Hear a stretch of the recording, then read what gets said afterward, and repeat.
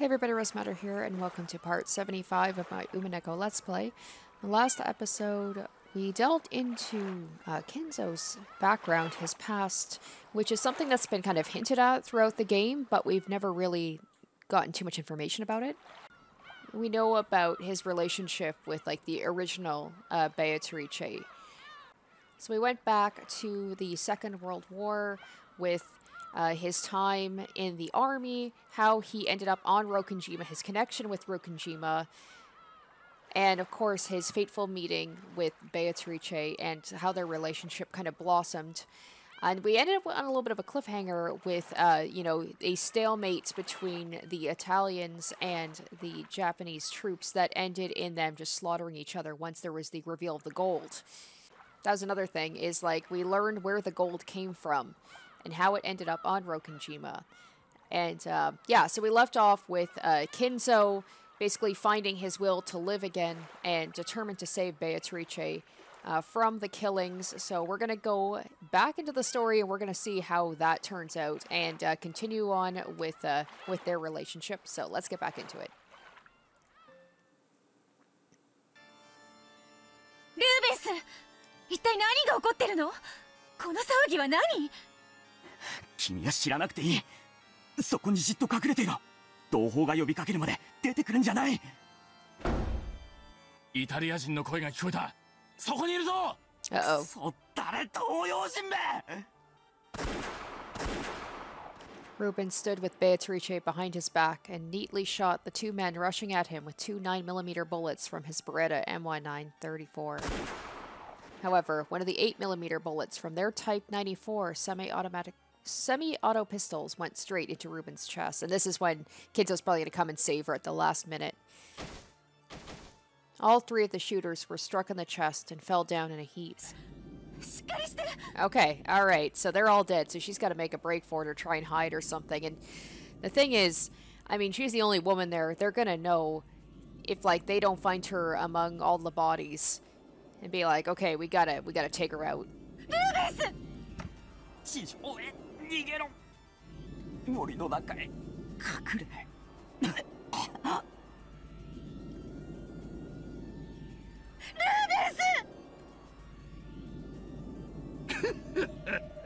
おやおや賑やかではないか The next person to appear. Oh, Yamamoto. Of course, I knew it. I knew it was going to turn out. I predicted that uh, Yamamoto and Kinzo were going to have a showdown. It was leading up to this. Next person to appear was the commanding officer of the Japanese soldiers, Yamamoto. The blast of three guns had just sounded. Adding on Beatrice's screams, it was hardly surprising that he had noticed the encounter.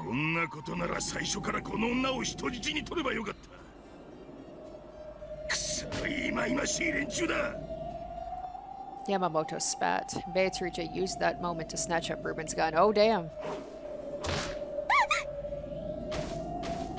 躊躇なく銃を拾おうとするとはイタリア女は実に物騒だ Come on, Kinzo.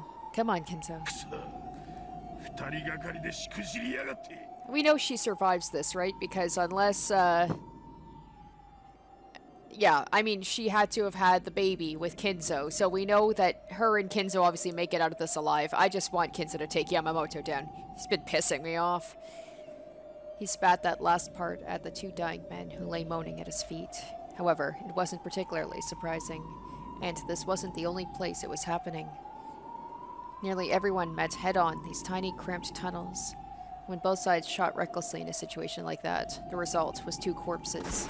So the way to be fastest was to pull the trigger immediately the moment you sensed another person.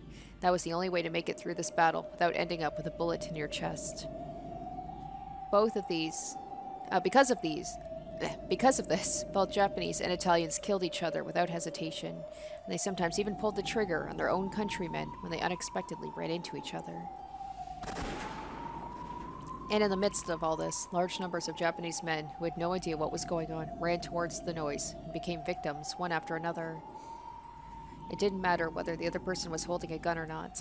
Everyone reflexively pulled the trigger at the sight of anyone other than themselves trying to stay alive. The slaughter engulfed the entire base.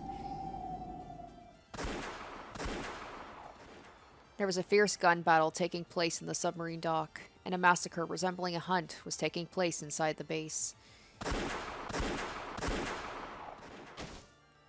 Most of the non combatants assigned to this base were killed before they knew what was going on. The Italians were indeed quite seasoned troops, but their numbers began to drop bit by bit. Blood-stained corpses lay scattered all across the base. At first, it had probably been a proper gunfight. However, as they gradually became desensitized, it devolved into the it devolved into that most basic cause of wars throughout humanity, the desire to kill all foreigners you don't understand. Whenever they had words they didn't understand, they pulled the trigger. By that point, the screams of foreigners sounded no different from those of man-shaped beasts. After all, they couldn't understand pleading in another language. So, it had long ago turned into a mere massacre. As the number of dead surpassed the number of living, silence began to return to the base. Just when I felt as though everyone had died and the desolate sound of the wind blew through the caves, there would be a sudden scream, the crisp sound of a gun, and one would remember that the massacre still wasn't over.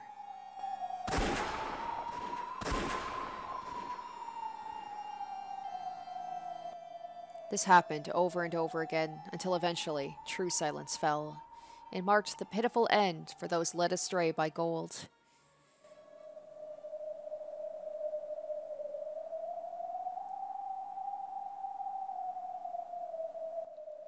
The leader of the Italian soldiers, Angelo, had managed to survive somehow. He encountered nothing but the corpses of friend and foe. All was quiet once more in the base. If he was careless enough to call out, he might be shot from the shadows somewhere so he snuck around like a panther, breathing quietly and searching for the remaining enemies. There was no sign or trace of any living person. Maybe all the people in this base had died.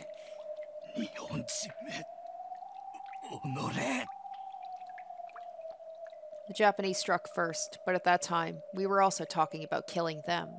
They simply made the first move as military men, so perhaps I should be grateful for today. Even if the boat had come to take us away, there would have been no honor for us. We would have been mere failures in our mission, unfit to face our dead comrades. Perhaps dying here in the Far East alongside my gun is a more fitting end for a soldier. From around the corner, I noticed the sound of a leg being dragged along the ground, and I strained to hear. Is someone seriously wounded and shuffling with a limp? Noticing them before they notice me greatly, greatly helps my chances. At this stage, there is no point in taking prisoners. We must dispose of all the Japanese. I'll dash around the corner, quickly check to see who they are, and shoot if it's a Japanese person. Nothing more. I've been hiding my footsteps the whole time. They probably don't know I'm here. Once the shuffling footsteps had come close enough, Angelo leaned around the corner and raised his gun. The voice that reached him spoke Italian. 逃げて貴様 Oh! oh shit. 貴様を探していたぞアンジェロ少尉 Did he maybe like shoot Beatrice or something and was dragging her around to use as like a hostage or something? Although I don't know at this point why he wouldn't just kill her on the spot. これで全員だな俺はしっかり貴様らの死体を数えて回ってたんだ Oh yeah, you may have killed all the Italians, but Kinzo is not going to hesitate to kill to kill Yamamoto to save Beato.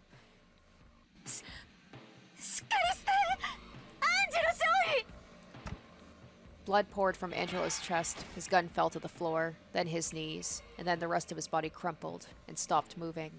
Yamamoto's accuracy with the gun wasn't particularly stellar. However, Angelo had waited until they were fairly close before jumping out, so Yamamoto had been able to hit his target and he had managed it with a short-barreled handgun in one hand and a woman as a hostage in the other. Oh shit. Maybe he knows. He knows that Kinzo's still alive, so he's gonna use Beato as like some sort of... I don't know, like a... Oh, what's the word I'm thinking of? Like a gambling chip? To be like, let me have all the money, all the gold, or else she dies. それにしても我が六軒島守備隊の情けないことよ。まさか私以外は全員死んだのではあるまいなやれやれクズども I don't know why he would keep her keep her as a hostage at this point. 女を盾に取らなきゃ戦えない。人手だし離して。静かにしろ。イタリア女は実に騒がしい。おとなしくしてれば命までは取らんというのに It was such an obvious lie that even he wore a bitter smile. The Italians were spies working for the enemy, and they all died along with the garrison in a gunfight. That was the story Yamamoto wanted to tell, so he couldn't afford to have any Italian survivors. He probably sees this as like, yeah, it sucks my men all died, but I get the gold all to myself because nobody else knows about it. At this point, he wouldn't be able to keep the entire pile of gold, but he could at least grab as many ingots as he could carry. Even that would be worth a huge amount of money. Beatrice suddenly swung her head, smashing Yamamoto's nose hard.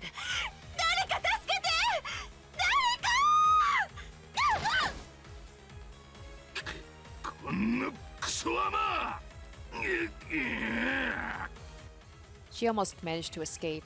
However, Yamamoto quickly grabbed her leg and tripped her. She fell into her back, and Yamamoto mercilessly stomped his foot down on her stomach and pointed his gun at her. じゃじゃ馬を飼いならす趣味はないのでな貴様は死ねえ注意 There we 彼 go. 女は無関係だ話してやれ Kinzo had jumped out from the shadows. He was holding a gun he had stolen from one of the corpses. 後ろ宮かほう生きておった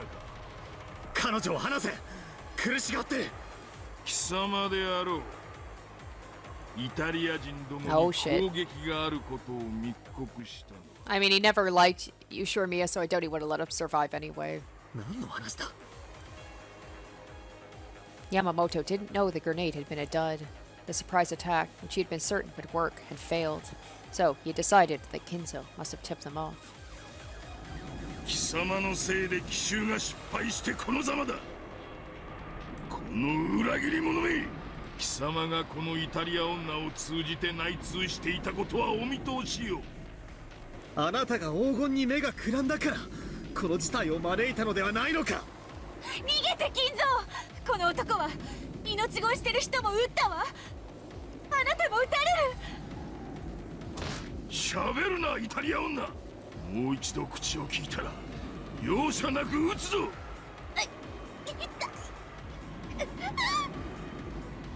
Yamamoto ground his heel into Beatrice's gut. よせやめろ!彼女は何の関係もない!ああ?銃を上官に向けるとはどういうつもりか?頭を冷やせよ愚か者め!私とお前で口裏を合わせればあの黄金の山は私たちだけのものではないか!私一人では少々をくすねるくらいしかできんがお前と二人でならもっと多くの数をくすねることができる。上官面をするつもりはないぞ。男同士二人できっちり山分けしようじゃないか。五分五分に分けようと言ってあなたは彼らの寝首をかこうとしたのではないのか。ち後ろ宮どうやら貴様は黄金より鉛.の方がお好みらしいな。Take him out, take him out. Oh shit. Without any hesitation, Yamamoto raised the barrel of his gun toward Kinzo, pulled the trigger. Maybe Beato will be able to get a hold of a gun and shoot him. That'd be awesome. It grazed Kinzo's right ear. If Yamamoto's aim had been just a bit better, the bullet would undoubtedly have slammed into Kinzo's face. Kinzo! Oh, not letting Yamamoto's momentary distraction go to waste, Beatrice lashed out and planted her foot right into Yamamoto's crotch. I love this girl. I mean, I've heard stories about the OG, but she's such a badass. After moaning in pain, a demonic expression flashed across Yamamoto's face, and he stomped on her chest.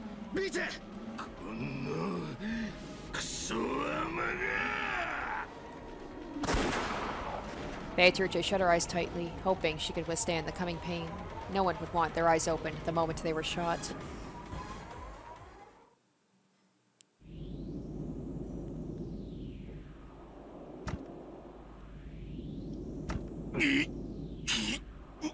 様 Tr- Thick spurts of blood squirted out of Yamamoto's chest. あんたがあんたの都合でお私も 私の都合であんたの命を 奪う Was Yamamoto able to hear the last of Kinzo's word to him? In his last moments, Yamamoto seemed to grin. Then slowly, he fell over backwards, a river of blood trailing from his body.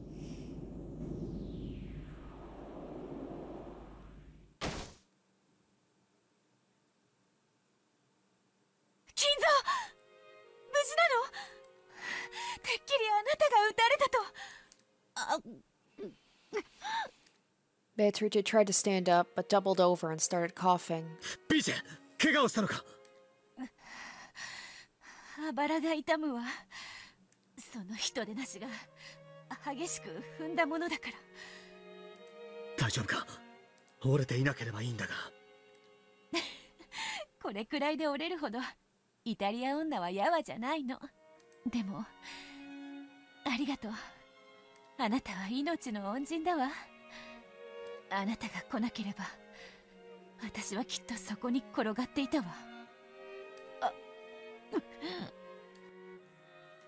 Yamamoto had shown no mercy. Her ribs were probably cracked. We didn't have the option of waiting, possibly for several days for the ship that was coming. I made the decision to ferry her off this island. The man who kept yelling about preserving the secrecy of the base is lying there dead. The next island over, Niijima, is close. A small boat should be able to take us there. 君を病院へ運ばなければならない。君が思っているより傷が深かったらいけない。知らなかった。この島には病院もあるのね。ない。隣の島へ。船で運ぶ。君は病院へ。私はこの島での出来事をうまく片付けないと。とばっちりで軍法会議者だ 頼みがあるの私を病院へ It's gonna look suspicious if, like, uh, you know, someone from the military is taking a random Italian woman to a hospital. I imagine they'd have some questions. ど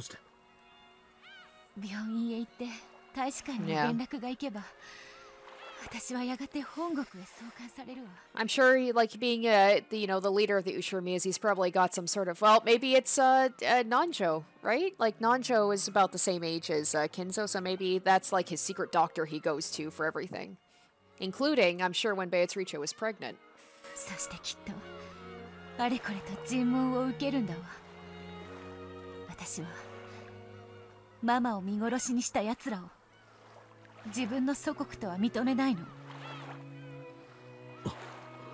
もう私の帰るべき祖国はないの。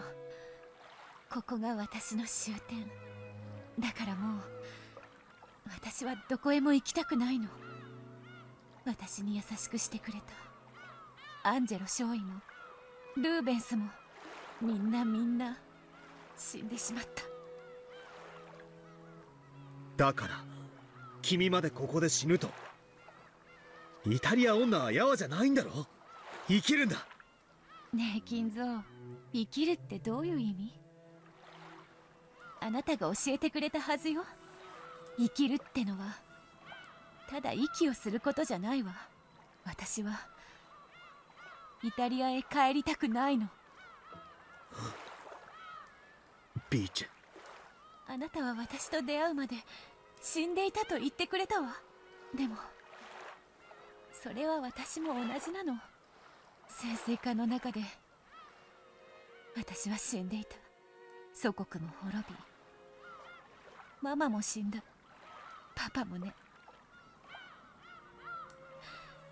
私はこんな船沈んでしまえと願ったわ。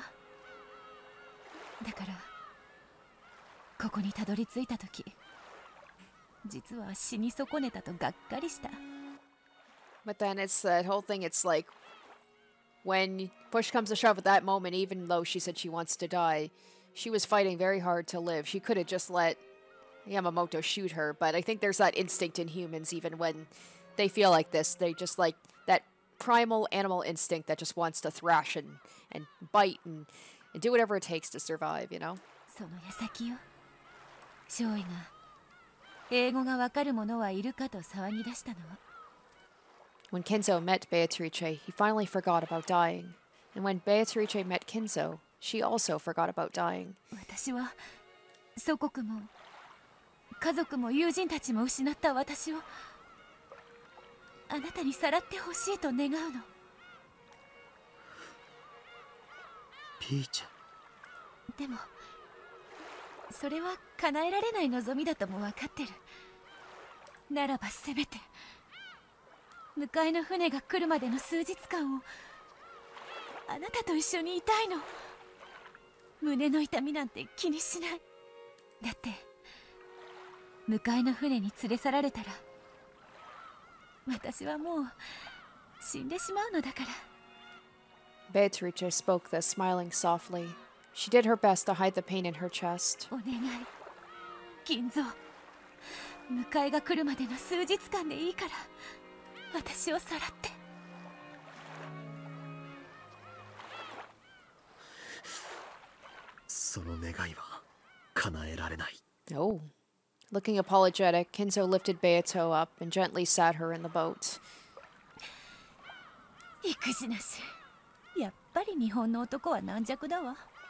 そうだな私は育児なしだだから君の願いは片方しか叶えられない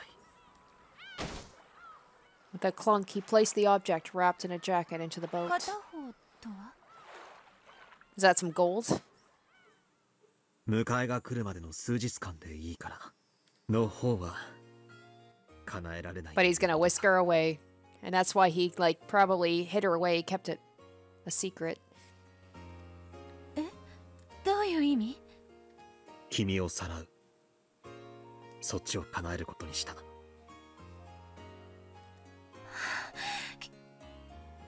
金蔵 There had to be a doctor on Niijima. That's probably where he met, because uh, wasn't, uh, did they say Nanjo was working on Niijima? Or he had like a, he had a thing set up on Nij uh, Niijima, right? A clinic? I'm wearing a Navy uniform. I should be able to pass myself off as a survivor of a boat carrying a VIP that was sunk by enemy ships. The doctor happens to be of the greedy sort, all the better. After all, I have right here the golden magic to make people do what I say. Alright, and that's probably how he roped Nanjo into this.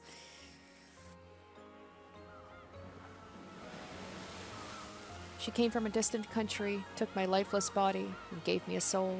The witch, who came bearing gold, revived me with her magic. 君は魔女だ黄金の魔女だええ And this is where the Oh, golden witch came from. みんなと同じレシピで作ってるのに。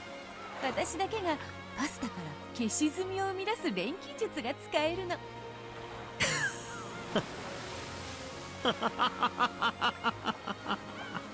あなたと同じく私も。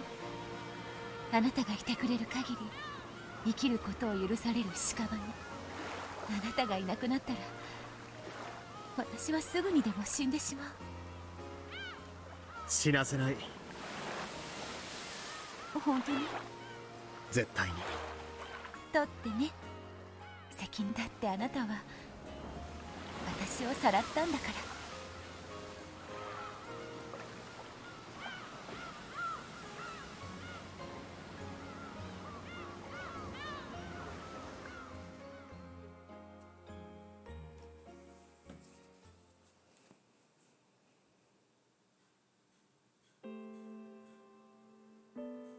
And there he is. か。金蔵さんがそこまで話しましたか？ではまさかあなたなのですか？おじい様がベアトリーチェを連れて行った新島の医者というのは。驚くに値しねえ。新島の医者って時点でピンとくる。突然海軍の兵隊さんが外国人の女性を連れて現れたのです。驚きましたともしかもその上軍機なので秘密で治療しろというのですそれがおじい様との初対面だったのですかそうですそれが金蔵 I さん love と this. 初 We're めて getting の so 対面で many した answers in this chapter already. Like it's just started, and I feel like it's given me so much more concrete answers than so many of the other ones in like almost the the, the entire episode. You know? 黄金で言いなりになった欲深な医者って Wow. の Well, も お前のことなのか？Calls it like he sees it. これは手厳しいですな。突然外国人の女性患者を連れ込み軍機だから秘密にせよと言い治療代は必ず持ってくるから担保にと言って黄金のインゴットを差し出す相手ですぞ。厄介事はごめんでした。しぶしぶとですとも。確かにそれもそうですね。でも南條先生はベアトリーチェをかくまってくれたんですね。金蔵さんほどではありませんが私にも英語の心得がありました。二人の会話を漏れ聞き二人が決して厄介な何者かでないと確信したからです。もちろんインゴットに目がくらまなかったといえば嘘が過ぎますがな。私も今よりは若かったものですから。その後彼女は？Are we しば gonna らく get to の see 療 young 養の Nanjo 後 too? In the, 後ろ宮家の使いの方が the 来て flashback? 小田原に移すとおっしゃいましてな引き取られていきました Odawara. That's where, like, that's where he grew up, right? He said, like, that's where his happy times were in Odawara. おじい様が自分で迎えに行ったわけではないのですか金蔵がどう六軒島の事件を言い訳したにせよしばらくの間は自由には動けなかっただろうよですな軍をごまかすのが 金蔵さんの人生で一番の大勝負だったと言って Now, おり here's the ました question. な I mean, what happened to all the gold? Like, did it get hidden? How did it get hidden? If everybody was dead, they wouldn't have been able to move it to, like, that secret bunker. It was just Kinzo, and he immediately took Beato away to the hospital. So, but he ended up with all the gold anyway. ベアトリーチェは小田原に行ってそれから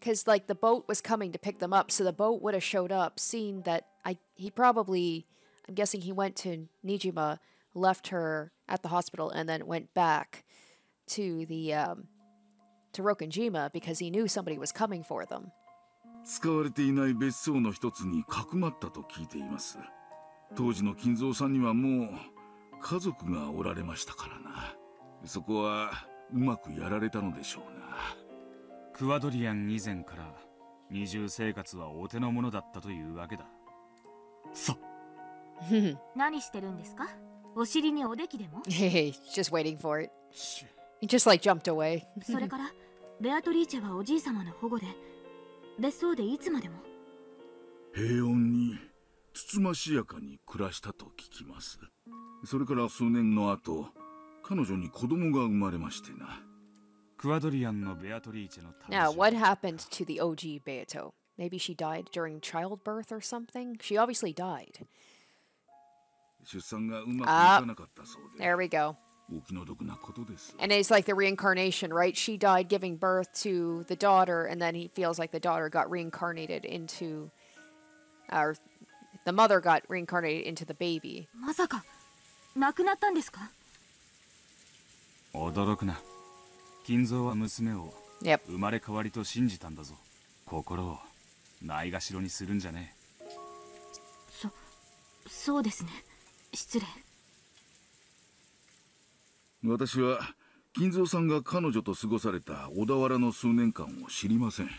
しかしその後の今日までの金蔵さんを見ればほんの数年間であっても彼がいかに彼女を深く愛したか伺い知ることができるでしょう。そうですねそして娘のためにクワドリアンを作ったというわけか金蔵さんは潜水艦の黄金を元手に巧みに立ち回りたちまちのうちに Okay. 財産を築き上げていきまし So た I guess the gold was hidden away. また持ち前の英語力を生かし GHQ に強いコネクションを作ってみるみるうちに大富豪となられたのです I guess they must have, like, they must have hidden it away, uh, got all the soldiers beforehand to move all the gold somewhere, and then afterwards, that's when all the, you know, gunfire broke out. So, all right, that makes sense. この辺はリオンさんに説明する必要はありますまいええその莫大な財産で六軒島を買い取り屋敷を建てます小田原の親族たちは 無人島を丸ごと買い取ったおじい様を水郷だと笑ったそうです10トンの黄金がポケットに収まる大きさだったなら金蔵も島を買わなかったろうよ He hid the gold somewhere in Rokanjima, built up a fortune with the ingots he'd taken out of it, and then bought up the whole treasure island. ですなそして後ろ宮家の黄金伝説が始まるのですインゴットには片翼のわしが刻印されていたと聞くが片翼のわしというよりは片翼に見えてしまうわしというべきでしょうなそれはどういう意味ですか Oh, so those ingots were already. So he took. I'm guessing rather like they were already pressed with that. It's probably an Italian thing, right? Like the the eagle, and then he took that and he made that his like family crest in honor of Beatrice. ヨーロッパに多いでしょう翼を広げたわしを紋章にしたものは Oh my goodness. It seemed like it was the other way around. Like he had that crest and he he pressed that into the gold, but it was the other way around. He took it from the gold. サロ共和国の国旗にもわしが Oh my gosh. いや鷹でしたかな It seems so obvious when you think about it. が刻まれています刻印が薄かったあるいは粗雑だったということかそうです戦時下の粗雑な刻印でした。本来は翼を広げたわしの紋章が刻印されるべきだったのでしょう。それがちょうど斜めに断ち切ったように半分薄れて消えていたのです。翼を広げたわしが半分消えてそれが片翼のわしに見えた。金蔵は自分の運命を大きく変えたベアトリーチェの黄金に片翼のわしを見てそれを自分の紋章とすることを決めたに違いあるまい。果たして正しく刻印されていたならそれは共和国旗の鷹だったのか？それともまさか相当の？いやいやそんなまさか。あの莫大な黄金の山の前で金蔵さんと杯を傾け合いながら黄金ロマンで夜を明かすのはなかなかに楽しいことでした。もっとも金蔵さんはその刻印から黄金の出所を探られることを嫌いましてな。外部に持ち出す黄金にはわざわざ自分の片翼の和紙をデザインした別の刻印を打ち直していたようですが。お前には見せるだけだったのか。金蔵もケチだな。無論大富豪になった後金蔵さんは再び私のもとへ訪れ未払いだった治療費をしっかり払ってくれましたとも治療費にはちと多すぎましたのでな。ちゃんとお釣りを払いましたが。それ以来おじい様と交流を？そうです。金蔵さんは私が秘密を守ってベアトリーチェをかくまったことをことのほか深く感謝してくれましてな。おじい様はかつての小田原の親族たちは欲深の嘘つきばかりだとおっしゃっていました。南條先生の義理堅さが嬉しかったに違いありません。おじい様のような方がどうしてあなたにだけは心を開いたのかわかる気がします。私にも多少の異国趣味とチェスの趣味がありましてな。金蔵さんとは以来意気を統合しましてこうして細々としかし気づけば随分と長くお付き合いをさせてもらっています。大きな金を扱うやつほど小さな金にもきっちりしてる治療費以上をもらおうとしなかったあんたの日義さに惹かれるところもあったんだろうよとんでもない大きなお金に怯えてしまっただけです後になってから後悔しましたとも At least Najo can be honest with himself. I mean, he got a pretty pretty cushy job after, though. He basically he got to just be Kinzo's like sole physician, he probably gets paid quite well for it.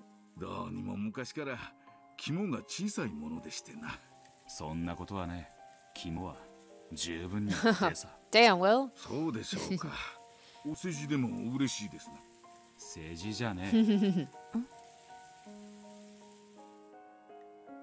After Kinzo dies, Nanjo is complicit in keeping his death a secret for at least a whole year. Of course, Natsuhi must have given him a fairly he heavy set of hefty sum of hush money. All the same, he's at least gutsy enough to withstand the pressure from Kinzo's children for that amount of time without slipping up once. 大した肝っ玉じゃねえか義理がたいのがお前の性分なんだろうよそれしか取り柄がないものでしておじい様は良い友人に恵まれたと思います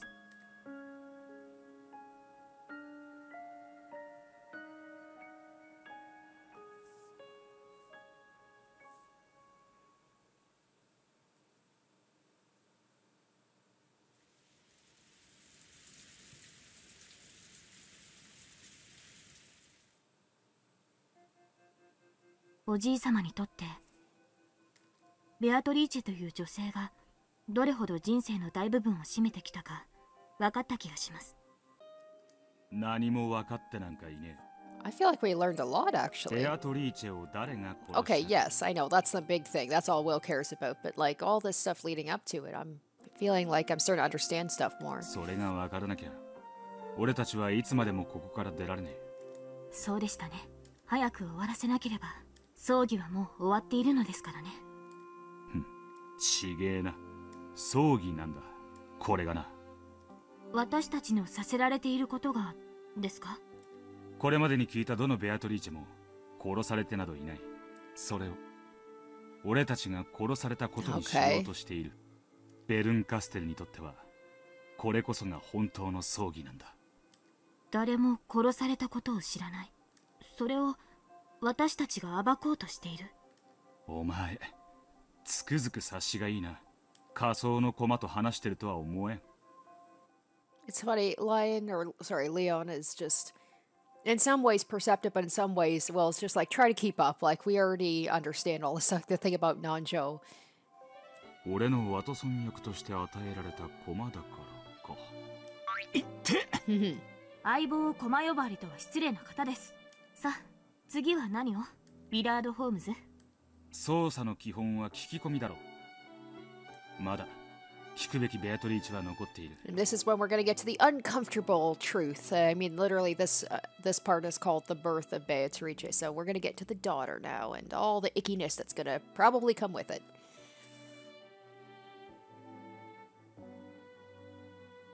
To indicate who they should talk to next, Will nodded in the direction of George, Jessica, and Maria.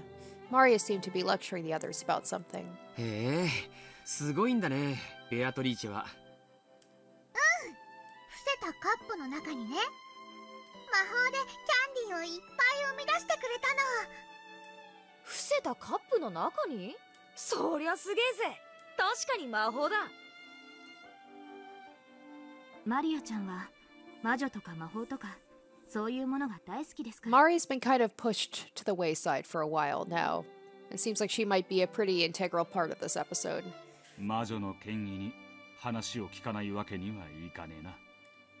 If looking for someone to ask about Beatrice, Maria would rise to the top of the list. The Beatrice he spoke of wasn't the real Beatrice spoken of by Kinzo and the others. However, on to the Rokkenjima of 1986.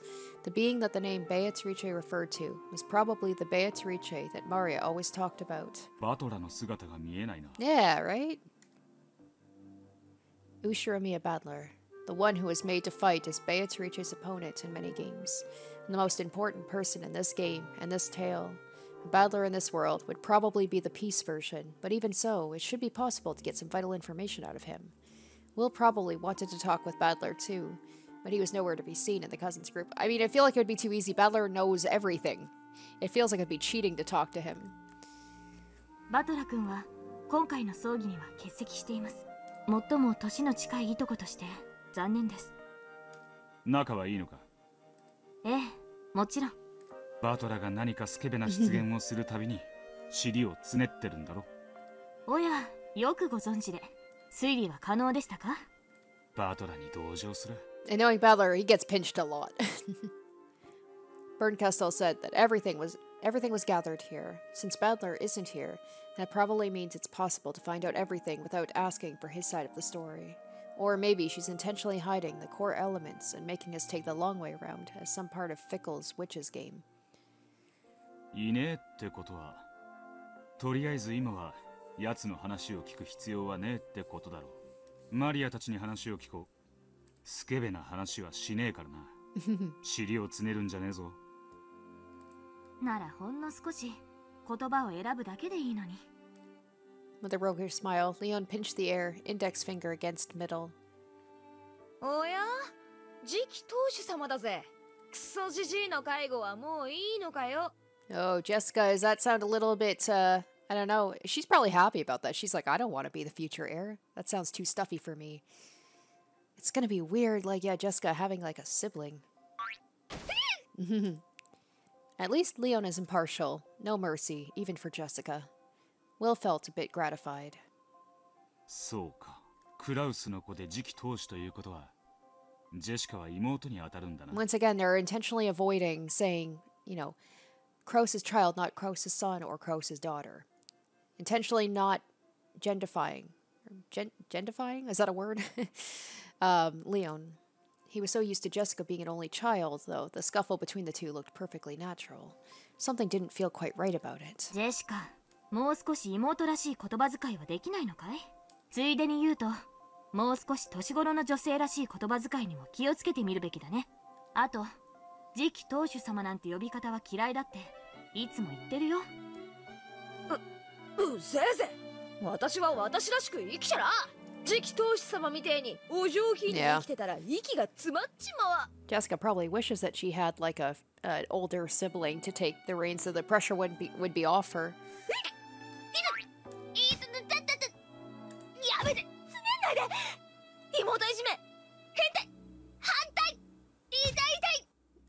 was thinking that I was like, you know, if Leon pinches people for being perverts, like the butt seems like the most perverted place, or one of the more perverted places to pinch. Like pinch like the, uh, I don't know, like the elbow or the ear or something, you know. ジェシカお客様もいらしているというのにまた母さんに言いつけられたいかな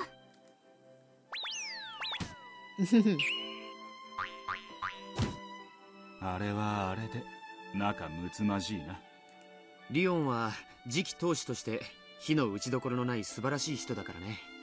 ま素晴らしすぎてジェシカちゃんの気持ちもちょっぴりわかるかな。何をしても比較される。だからグレると？もしジェシカちゃんが一人っ子として生 Oh, まれてたら George. Will's hmm. 真相の令状になってたと思う。それは面白い想像だね。安心しろ。あの性格は一人っ子でも変わらね庄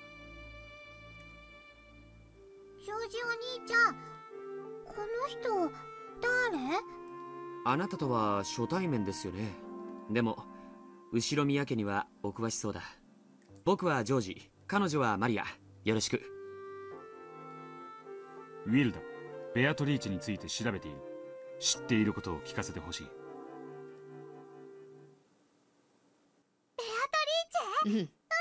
Mari's like, sit down, Will. I'm gonna just sit. We're gonna be talking for a while. ほらね。ベアトリーチェはいるの Maria had looked hostile towards this unfamiliar man. As soon as she heard the name of the witch she loved pass his lips, her eyes began to sparkle. Hora, Maria-chan. And George is like, yep, uh, just, there you go, there's Will. Go talk to him for a bit and leave us alone so we can stop talking about Banteriche all the time. お客様にちゃんとご挨拶をしないと。こんにちは、右代宮マリアと申します。うん。ベアトリーチェを知ってる人がいて嬉しい。握手うん。Maria suddenly stuck out her small hand, and Will reached out for it reflexively. Now she's gonna turn into a witch Maria. Maria, right? As soon as he did, he felt a bright light seeping out from the gap between their hands. The theater going power that Bernkastel had given him had affected Maria.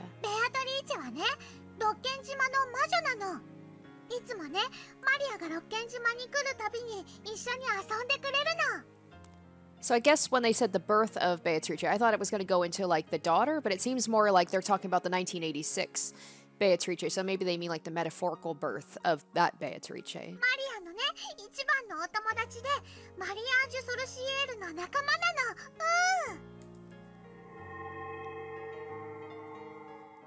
The lights grew brighter and brighter. This time, he could feel himself being drawn into Maria's world.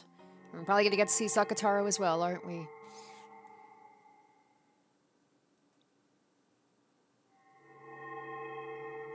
There she is. I'm Ushiromiya Maria. My mama is Rosa. My papa. I don't have a papa. I think I remember mama showing me a picture long ago and saying, This is your papa. It was a picture of a man with a dark suntan on a beach wearing a swimsuit. Later on, when I learned what papa meant, I asked mama to show me that picture again. But she said there wasn't any photo like that. But there was. I drew a picture of it and showed it to mama. When I did, she got really mad and said the photo didn't exist, or that if it did, she had already thrown it away. Ever since then, she kept saying that I didn't have a papa. 知ってるパパとママがいないと赤ちゃんができないって言われてるけど それは嘘なんだよ少女解体か I was about to say it's like the Immaculate Conception. All right, Maria. ミよ乙女が身ごもって男の子を産むであろう その名はインマヌエルなりマリアはもし男の子に生まれていたならそれが名前だったかもしれないマタイ伝一章20節違うよ23節20節は Oh gosh. これらを Wow. 出す時 Damn. 見つかいが夢に現れていった Look at Will being like, oh, I know stuff. And Maria's like, bitch, you thought. 妻マリアを迎えることを恐れるな。その腹に宿るものは精霊によるものなり。お前の父親は精霊だというわけだ。パパがいるのが当たり前だとみんなに言われた。パパがいないなんておかしい変な子だかわいそうな子だと言われた。でもママに聞いてもパパなんかいない知らない存在しないと言われた。聞くだけで怒られて叩かれた.だからマリアは自分が誰から生まれたかよくわからなくなった。マリアは人間として正しくない。未熟で不正な存在。みんなとは違う。おかしなかわいそうな子だと気がついた。親も他人も関係ねえ。お前はお前だそれを未熟な幼児に教えるのはきっと難しかったろうね。ひょっとしたら幼稚園の先生はいじめられて泣く私にそう諭してくれたのかもしれない。でもそんな慰めでは私の心の空白ううん疑問。どんな言葉も私の疑問に答えてはくれなかった。その疑問に答えたのがザ・ブックだというのか。神父様がね来たの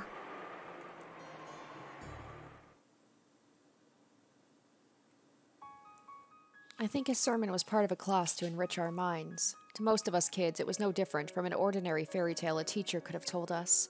No, it was harder to understand, and I think that made us bored. Then at the end, the priest said something important. 神は何でも知っているかうんだからマリアは聞いた マリアにはママしかいないパパはないパパがなくてもマリアはママから生まれてきたそれはおかしくて悲しいことなのって The priest taught me. He said there was nothing strange about a child having no papa. After all, Jesus Christ was born of a virgin, and the one who gave birth to him was the Blessed Virgin Maria? Maria. I was surprised. Maria, the name I was given, was the answer all along. だからマリアはびっくりして神父様に聞き直したの。聖母マリアは一人で赤ちゃんが産めたんだって。じゃあマリアも一人で赤ちゃんが産めるのって。神父は何と答えた？聖母マリアが赤ちゃんを身ごもれたのは精霊のおかげだからってマタイ伝一節二十章講談その腹に宿るものは All right. 精霊によるものなり So she's just obsessed with that aspect of the of the Bible. I was like, like I know that Maria becomes like hyper fixated on things. Um but like damn if she can pull like any verse out and know exactly what it is, I'm like that's that's very impressive. またまたマリアはびっくりしたこれはどういうことだと思うお前はこう解釈した後ろ宮マリアには人間の父はいない本当の父は精霊だと Regardless of what the Bible actually meant, the young, sad girl who had lost her sense of identity because of her lack of a father had finally created a way to understand herself.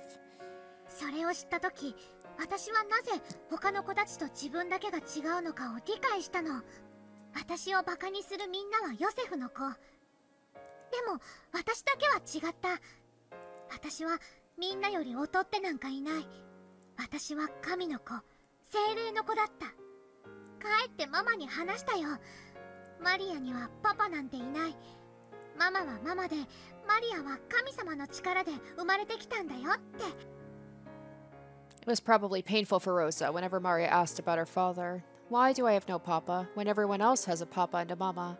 Every time she asked this, Rosa flew into a rage and changed the subject. And now, somehow or other, Maria had independently found an explanation that satisfied her. She had no papa. She was the child of Mama and God. It isn't difficult to imagine Rosa, after hearing the explanation the young girl had found in the Bible, might have gone along with it as though it were true. ベアトは宇宙を生み出す最小の人数を2人だと言った私はこれを両親がいないと子はなせないという意味だと感じた。その時私は思ったの。ベアとは魔女だけれど人間から生まれた魔女なんだって。ベアとは精霊の子じゃない。でも私は違う。Yeah, didn't Mari say that before? That in her, like hers, you only need one to create a world? ママだけから生まれた。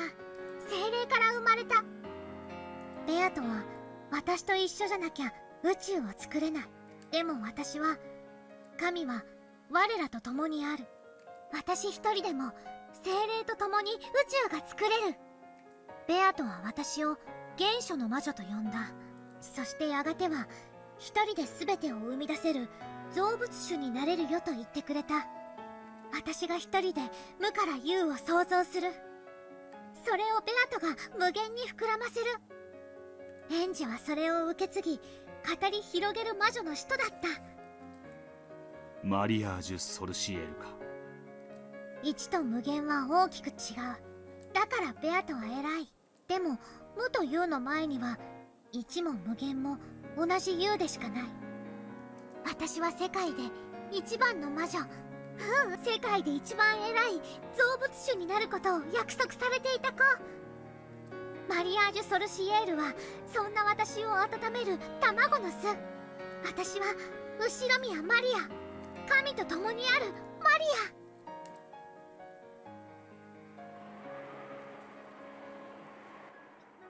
If we liken Maria's sense of identity to a universe, then this endless stream of words coming from her might be like the Big Bang.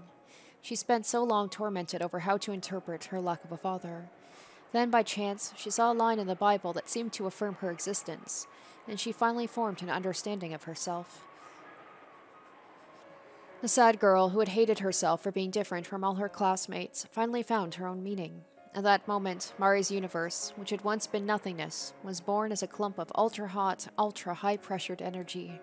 Then later on, she went to Rokkenjima, met the endless witch who called herself Beatrice, and the clump of energy exploded into a big bang, giving birth to their joint system of magic. That was the universe known as Mariage Sorcière.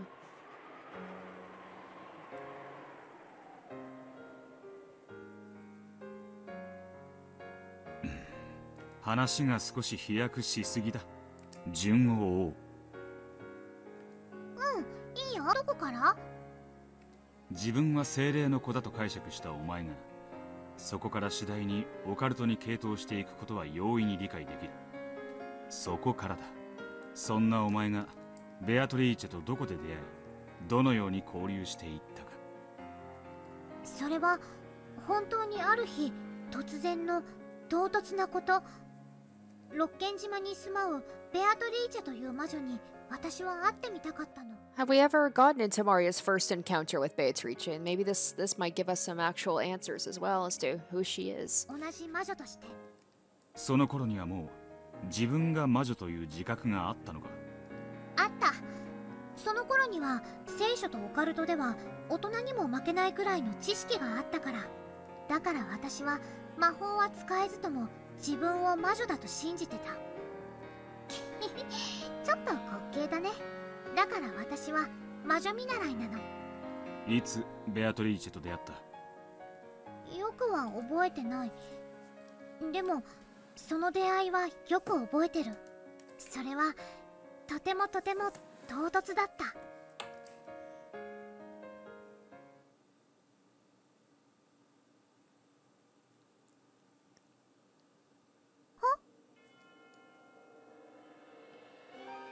そなたが後ろ宮マリアか It was such a very, very abrupt encounter. I had just been drinking some milk tea all alone in the rose garden arbor. Mama said she had to talk about something important with Uncle Kraus, so she told me to go outside and play. Suddenly, she was sitting right there. I didn't know anyone who spoke that way. I quickly realized she was someone I didn't know at all. あなたは誰 会いたいと言ったのはそなただ。わらわの島に魔女が訪ねてくるから出迎えてやったというのに。そなたはわらわの名を問うというのか？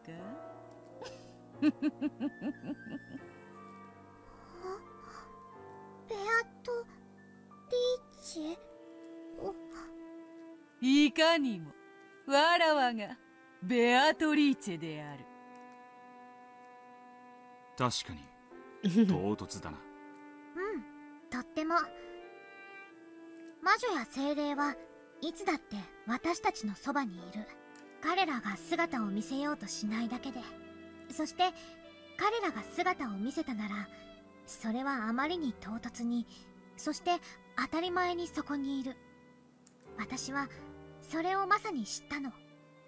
そしてベアトリーチェと友達に？うん彼女はママの用事が終わるまでずっと私とおしゃべりをしてくれた。魔法の話や魔女の話。マリアが精霊の子であることも。その時のベアトリーチェの印象は？こう言っては悪いけど知識だけなら私が上だった。最初は彼女のことを大した魔女じゃないと見下しかけた。まあそれは私のうぬぼれ魔法体験にはいろんなものがあるましてや私のそれは独学ベアトの魔法体系とは異なったから私が一方的にそういう印象を持ってしまったんだろうね So maybe the, maybe whoever Beatrice was who disguised themselves as Beatrice came to talk to Maria to learn about witches to get more information. すぐにそれを後悔して謝ることになるの謝るベアトリーチェが何かお前の尊敬を勝ち取ることをしてみせたのかなるほど魔法を見せ Yeah, one of her magic tricks. Probably that cup thing that uh, Erica just completely dismantled. We moved to the beach and talked lots, sitting at a table under an umbrella. なるほどマリアそなたは実に勤勉だその年で千年の魔女のわらわに それだけの講釈をできるとは実に尊敬に値する。してそなたは何の魔法を使えるのか？魔法？そなたが魔女を語るならば魔法の一つも見せられるであろうが I was stunned for a second. Of course, it should have been obvious. I was a child of the Holy Ghost, and since I'd studied so much of the occult, I was also a witch, not a human. Until that day, I had been so sure of both of those things. So when I was asked what sort of magic I could use, it left me in a daze. 魔法を知り語るに至ってようやく見習いよそしてそれを魔法という形で実践できてこそ 魔女というものではないか？マリアはまだ魔女じゃないの？よく学んでいる。そして類まれな才能も感じる。そなたはやがてわらわなど足元にも及ばぬ偉大な魔女。あるいはそなたが言うように造物主の座にさえ上り詰めるだろう。しかしまだ幼く若い。そなたはそう。見習いだ。魔女の見習いというところよ。じゃあベアとは魔法を使うことができるの？無論であるとも。魔法を使えずして魔女を名乗ることなどできぬわ。すごい。見せて Until that day, Maria had never doubted the magic related concept that she was the child of the Holy Ghost. However, no one had been pro- no one had ever proven to her that occult phenomena actually existed. Maria could create a universe all by herself. However, she wanted to share it with a second person so that she could believe in it even more strongly.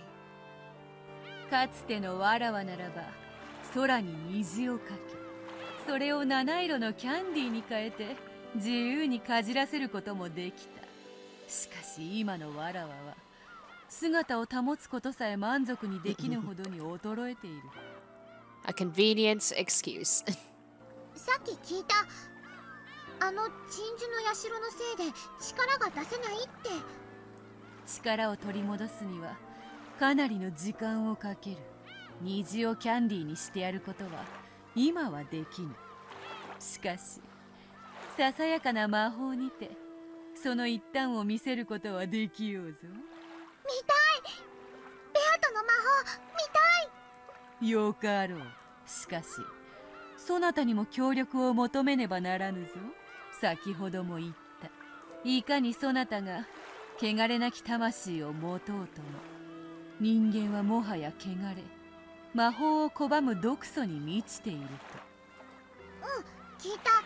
半魔法の毒素があるって聞いたマリアの読んだ本には載ってなかっただからそれを知ってるベアトはすごい Oh, Maria, she's just so. She just wants to believe so bad. She's so naive and so trusting. Beatrice lifted up an empty teacup, then turned it around in front of Maria to show there weren't any tricks or strings. 伏せたカップにキャンディーが現れる魔法かどうしてわかるのウィルはすごいね魔女の使う魔法もわかるんだね魔女の魔法の基本だからなカップは何の仕掛けもない Well, at least he didn't. Uh, at least he didn't shatter her. Um, you know, illusion like Erica did. Be like, it's it's just uh, it it's a parlor trick essentially. It's not even magic. 私は見たかった本当の魔法を見たかった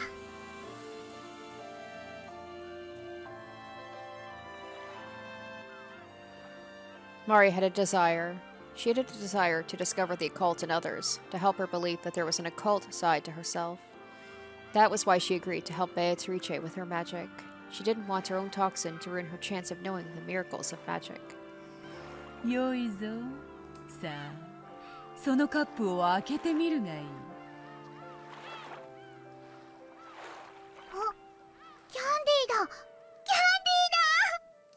わらわからそなたへの挨拶代わりと新しき魔女との出会いと友情にそれを送ろう This was a true miracle of magic. For the first time, I felt shame and embarrassment in my conceit. I could feel the sense of omnipot- um, omnipotence disappear. The idea I was the child of the Holy Ghost and the most important and special person in the world. Instead of a child of the Holy Ghost who can't do anything, I'd rather be a witch who can use magic. I, Ushiromiya Maria, wanted to become a witch. Starting off, as a witch apprentice. Already, I was obsessed with Beato. Maria も本当の魔女になりたいベアトの弟子になりたい謙遜をそなたには十分な才能と日々の精進があるぞそれにかつての力のあるわらわならともかくこの程度の魔法しか使えぬ衰えたわらわでは弟子を持つことなどできぬわ。マリアは魔女の弟子にはなれない？うんわらわの弟子にはできぬ。しかし友人にはできる。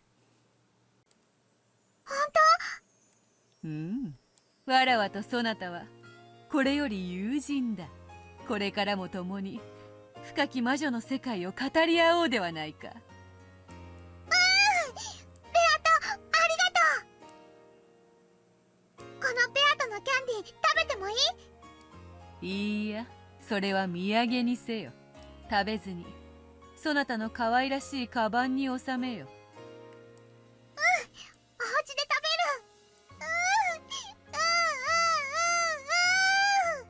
So whoever Beatrice is, I'm guessing like she wanted Maria to tell everybody that she met her to kind of like I don't know, perpetuate this story of her. マリアそのキャンディーは魔法で生み出されたものだゆえに脆いそなたがわらわの存在をその毒素で否定したなら 溶けて消えてしまうだろう。もう嫌だ。ベアトからもらった大切な魔法消えるの嫌だ。ならばわらわという魔女に出会ったことを決しそなたがわらわとのささやかな約束を守る限りそなたがまたこの島へ来るときは再びわらわがそなたを迎えようぞ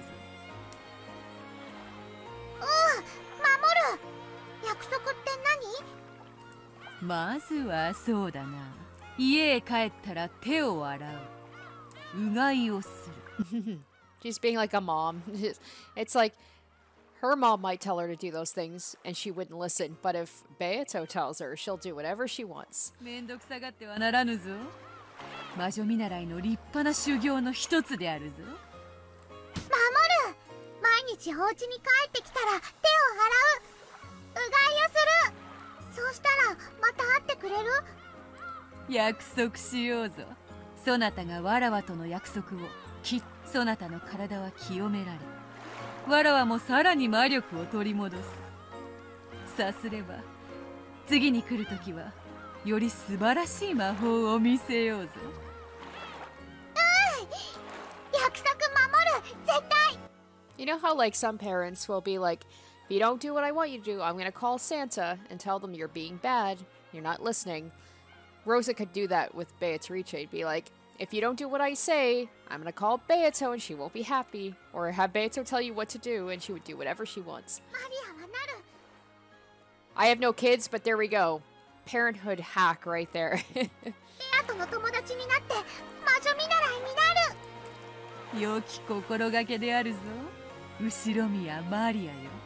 そなたが早く一人前の魔女になってわらわの良き友人に成長してくれることを心より願っている。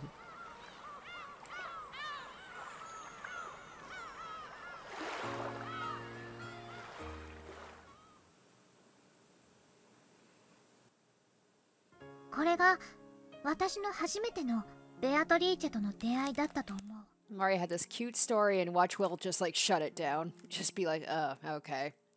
So you think that you met a witch.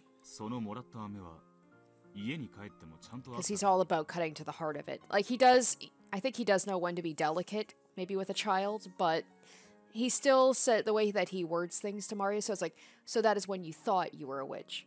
Ends up not saying, so that's when you became a witch. Mm. 少しだけ疑ったから飴は溶けかかっていた。私は彼女を疑いかけたことを後悔したよ。もしもっと疑っていたら飴は消えてなくなっていたに違いない。そしたら私は目の当たりにした魔法の奇跡の証拠を失うところだった。飴が溶けていたのか？飴というよりはキャラメルだったと思う。溶けかかって ぐにゃぐにゃだった Well, it's like so basically what car- uh, caramel candies do. Do you guys say caramel or caramel? I bounce back between the two. Summertime, right? Or no, it'd be October because that's usually when they go to the conferences. Or maybe they went. Maybe they go in the summertime too. So it was time when it was hot. 何でもないベアトリーチェに出会ったことは ローザには話したのか At least he's at least he's not as cruel as Erica, where Erica would sort of be like, "Uh, duh, it was summertime. Of course it melted." うん、その日のお夕飯の時にみんなに話した。クラウスおじさんに笑われた。そしたら隣の席のママにその話は終わりにしなさいって怒られた。おお。Like whoever whoever is impersonating Beatrice or whoever Beatrice is, like, she would know that Mario would tell everybody about their meeting, whether she wanted that intentionally to happen or not. I'm not sure. 隣の席序列上お前の席はローザと隣り合わないはずだ親族会議じゃないもんママとマリアだけが訪ねた時の話だからクラウスおじさん一家全員とママとマリアしかいない席は詰めるから親族会議の時とはお席がちょっと違うのうんお前の隣の席にローザだったんだなうんそれが何何でもない I'm a little curious about that too. Like, did they ever talk about going to uh, see each other any other times other than the family conference? ベアトリーチェと六軒島以外で会ったことはないよだってベアとは体が希薄で自由には動けないんだもの。マリアの体に乗り移ってもいいよって言ったけど島からは離れられないからできないって言ってた。その後は六軒島へ行くたびに会っていたということか。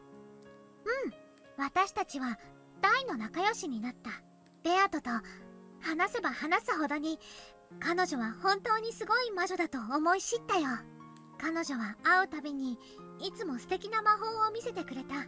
そして私とは異なる魔法体系を聞かせてくれて二人で魔法の深淵を語り合ったよ。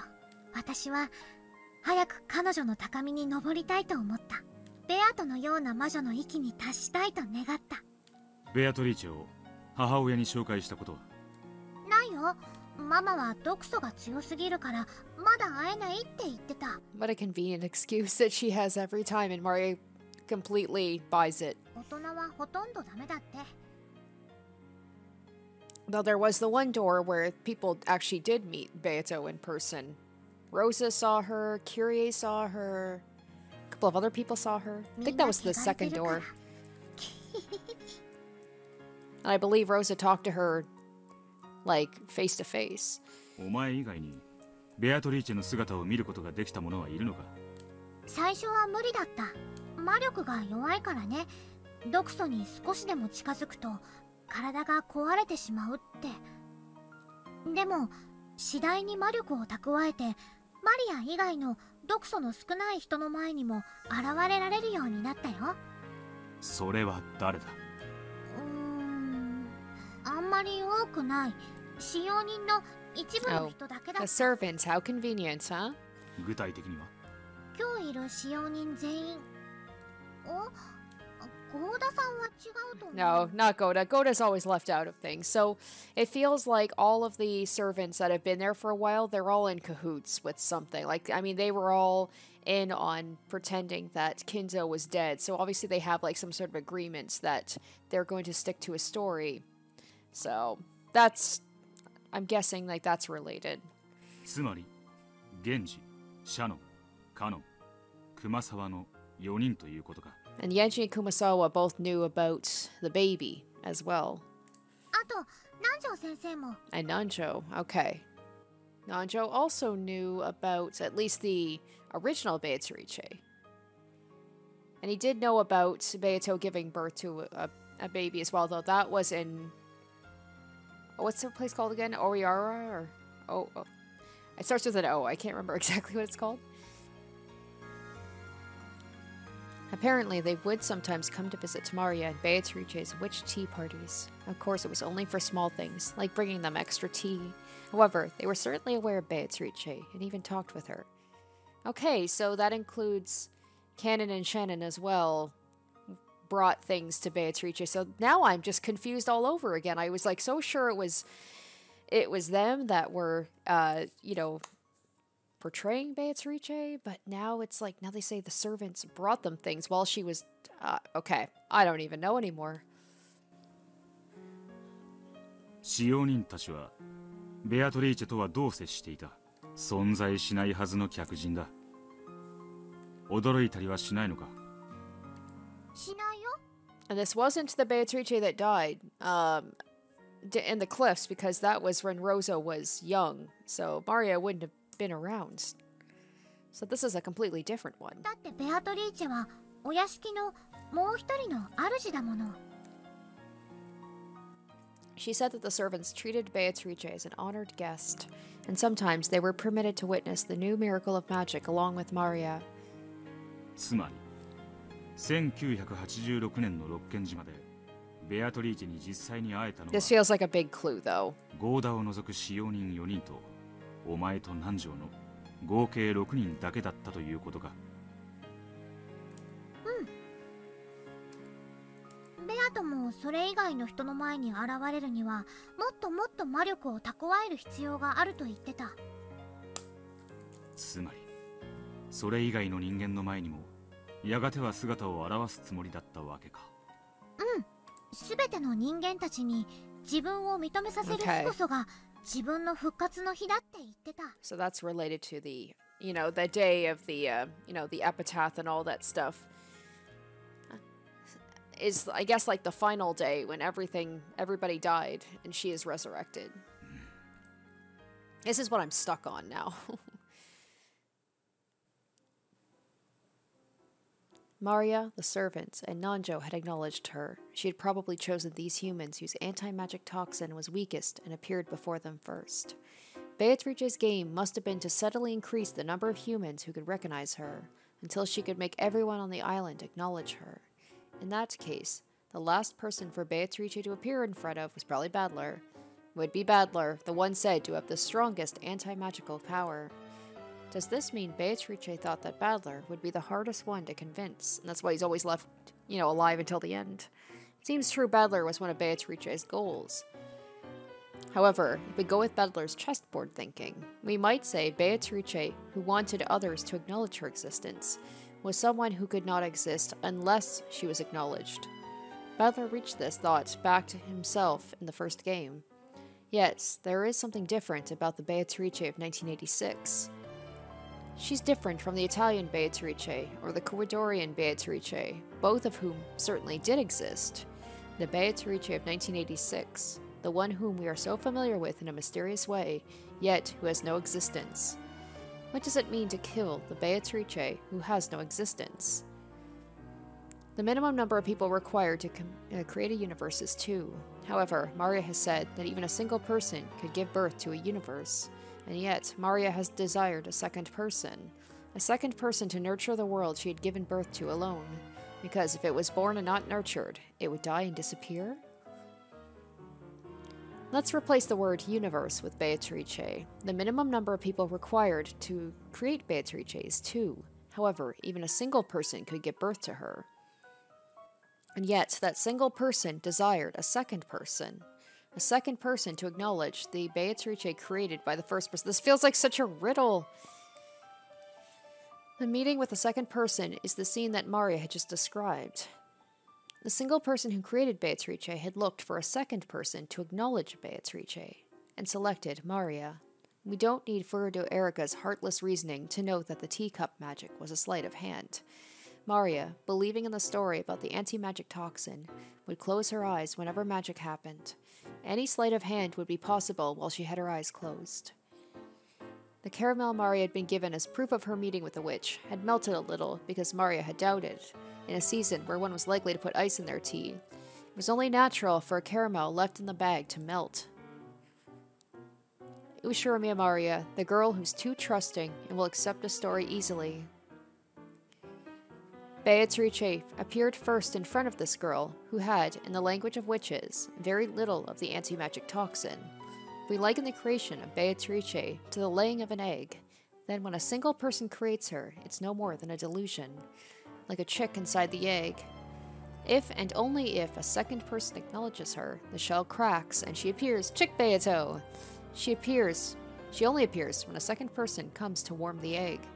When Maria acknowledged Beatrice, she finally hatched, and the chick was born. In that case, Mariage Sorcière, which nurtured Beatrice and her system of magic, was like a nest. Beatrice had a dignified presence, called herself the Witch of Rokkenjima, and claimed to have lived a thousand years. Thinking about the Beatrices who appeared in the previous game, this sounds less like the chick Beato, and more like Beato the Elder, so does this mean the meeting Maria had just spoken of marks the birth of Beato the Elder? The egg itself had already been created by the first person. During the time before the meeting with Maria, it matured fully inside its shell, becoming the character with the dignified presence of a thousand years. Then, when Maria acknowledged it, it hatched, and the Witch of Rokkenjima finally gained a form. Perhaps that moment marks the birth of Beatrice of 1986. The younger Chick Beato was born out of love for Battler, since that birth had not yet occurred at this point in time. Then the birth of Beato the Elder and the existence of Beatrice at this time must have nothing to do with Battler. Okay, so all this time it made it seem like I was thinking maybe like his his betrayal, his sin was what created Beatrice or this persona, but I guess it's like kind of independent of it? Are you enjoying this reasoning, Bernkastel? If you are, let's at least have some applesauce from the audience. Or applesauce? Applause. Oh my god. Am I maybe a little hungry? oh, I feel like they have mentioned applesauce in this game before. I feel like Bert Castell and uh, and Lambda Delta have like eaten applesauce before. That's hilarious. Great, thanks a bunch.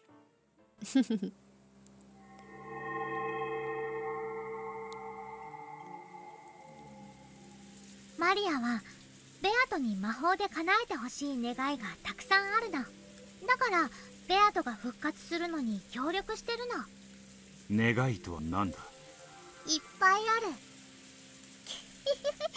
内緒黒き魔女からママを守ってほしいか。どうしてウィルは何でもわかるの？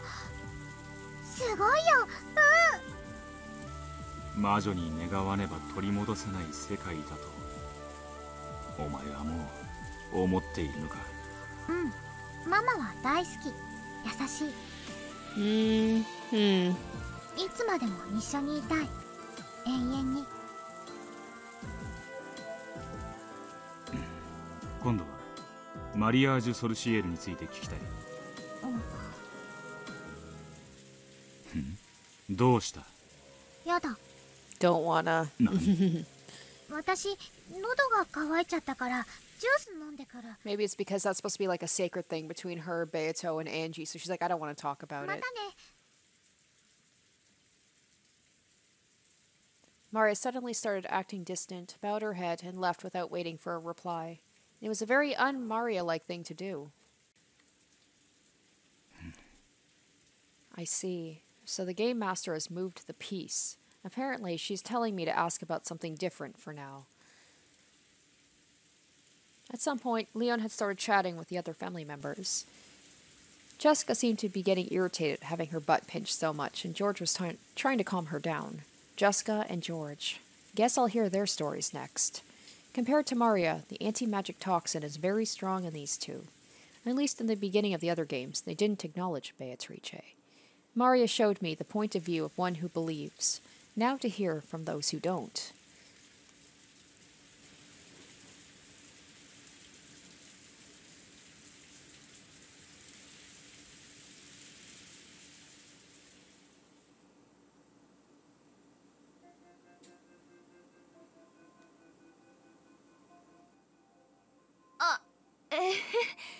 さっきはその次期当主様のせいでお見苦しいとこを見せちゃってあざになってねえかあいつマジで容赦ねジェシカ何か言ったかい何も何ももう十分懲りたって Leon, who had apparently been chatting with the adult siblings, spun around with a smile and stared at Jessica.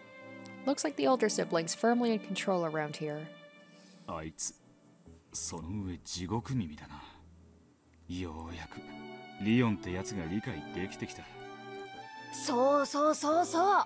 昔から妙に勘がよくって。その上ほら大人受けが妙にいいし私は家でも学校でも比べられてる。そういえばリオンは中学も高校も生徒会長だったね。Leon feels like a little bit of a Mary Stew, Gary Stew, uh, whatever they are. Like the perfect piece. I guess they have to be if they want to be kind of the Watson, right? To uh, to Will's Sherlock Holmes. バドミントンの部長もやってたよね行く先々でリオンと比較されてひでえ目にあったというわけだ私は中学に入って行ったぜその時はもう副会長やってた来年は生徒会長になる気だろう。私の肩身が狭くなるからやめてくれって。でも翌年にちゃっかり立候補して当選しちゃいやがった。高校でもそう。今度こそやめてくれって言ったのにその時点でもまた副会長で。また3年になるのと同時に会長になりやがった。父さんはちやほやちやほや母さんはあなたも妹として恥ずかしくないよ。頑張りなさいってチクチクチクチク。でもそんなリオンの妹であることを誇りにも思ってるんでしょ？別にそんなこと思ったことはねえぜ。ああねえぜ。全然ねえぜ。上が完璧だと息も詰まらだが他人は他人。お前はお前だ何も萎縮することはない。お前のしたいように精一杯好きにしたらいい。もちろん。でも母さんたちは後ろ宮リオンの妹として恥ずかしくないよ。後を引き継げってうるさい。生徒会に入れだの。バドミントンやれだの。軽音楽はやっていないのか？There you go. Leon goes with the more like athletic, and then Jessica goes more in the arts. それは秘密ないっしょ Apparently, she's keeping it a secret from her family. Interesting. People often like to blame their family for what they've grown up to be like. But even in a different world with a different family, the interests of the girl called Jessica are the same as ever. It's admirable she has such a true and constant interest in something. 俺は好きだぞ ペッタンペッタンとかスイーツスイーツとか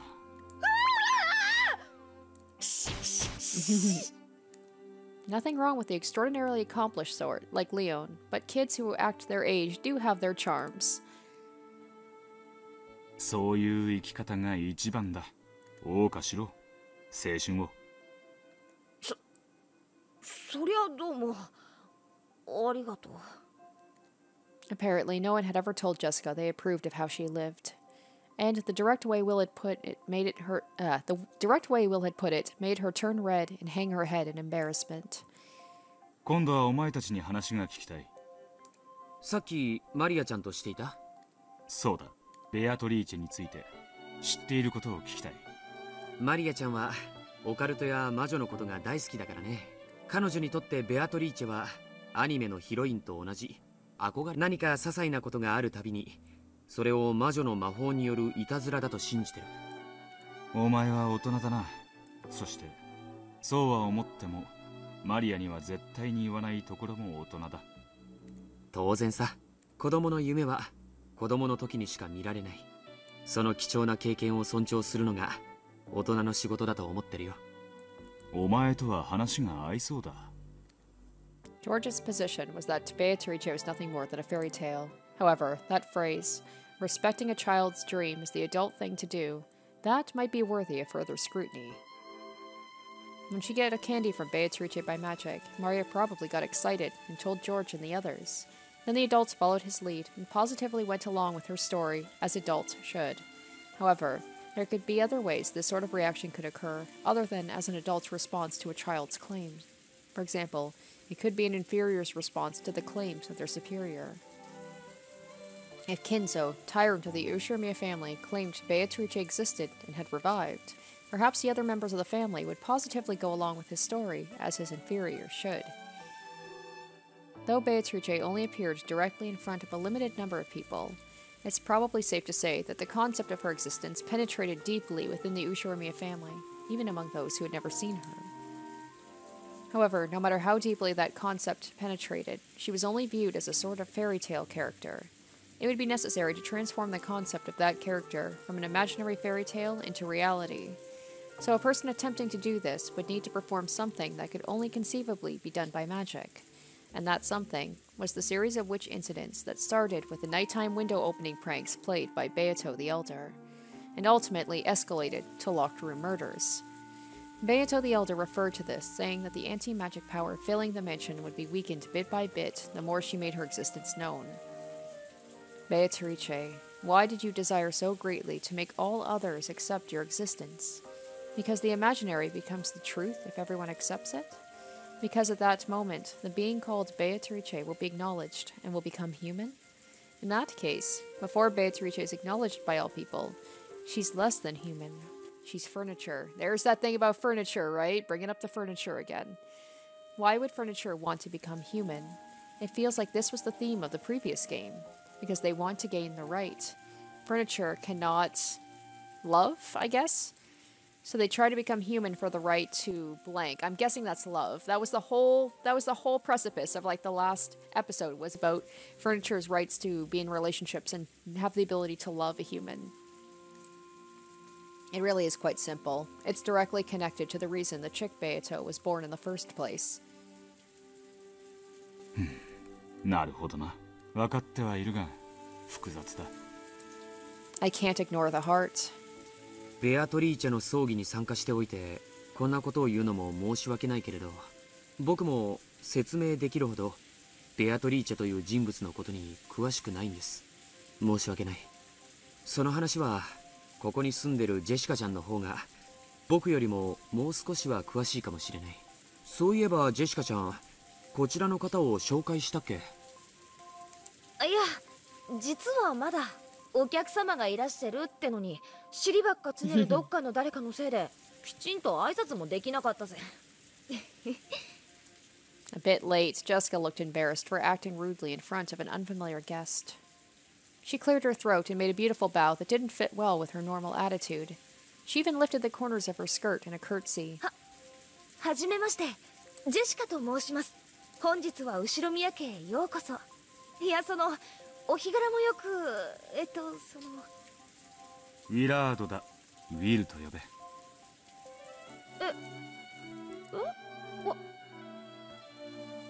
Jessica's greeting had been of the old fashioned sort so Will also treated her like an old fashioned lady.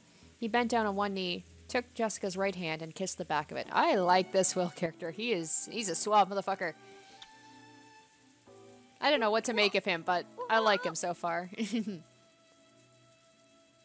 Jessica's like, Kanon who? This is my new bae. Love him. Not expecting her greeting to be returned in such an old fashioned and formal way, Jessica turned red and was unable to speak. However, Will had returned the greeting in what he thought was a perfectly serious way, so he didn't understand what was making Jessica's face glow. 何かおかしいことをしたかいいやその全然お前の知っているベアトリーチェの話が聞きたい A glow leaked from Will's right hand, which was grasping Jessica's. It looks like the theater going power is having its effect on Jessica. I didn't mean for that to happen. Oh well. ベアトリーチェのことだっけ？は話してもいいけどその約束してくれる？絶対に笑わないって。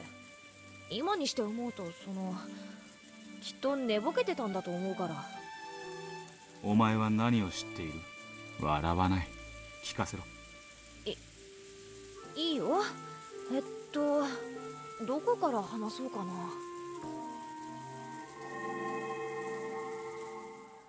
Alright, guys, that will do it for this episode. Apologies for being a little shorter than my usual episodes, but uh, I am heading out of town for uh, a little bit of a mini vacation yet again.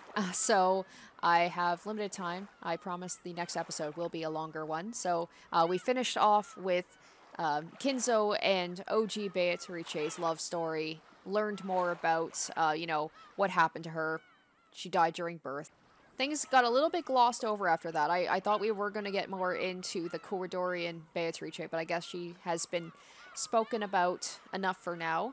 Uh, we got Maria's perspective about her first time meeting Beatrice, and uh, pretty surprising about the whole thing, like with all the servants apparently being there to serve uh, Maria and Beatrice. So that kind of throws my theory in a loop. I don't know what to think anymore. And then now we're going to be hearing Jessica's story. Thank you guys so much for watching, and stay tuned next week for Jessica's telling of her encounter or her knowledge about Beatrice. And uh, we'll see if we learn any more information, any new information from her. Uh, yeah, hope you guys enjoyed, and I will catch you in the next one. Until then, bye.